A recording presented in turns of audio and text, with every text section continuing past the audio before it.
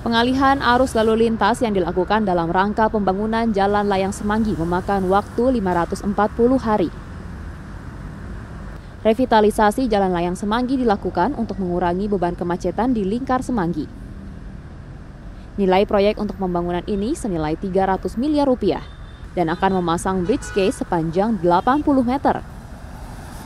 Nantinya setelah proyek ini selesai, kendaraan dari arah Cawang yang akan menuju Bundaran HI akan bisa langsung mengakses lewat jalan layang tersebut tanpa perlu memutar. Begitu pula dengan kendaraan yang dari arah Selipi mengarah ke Blok M bisa mengakses via jalan layang Semanggi ini.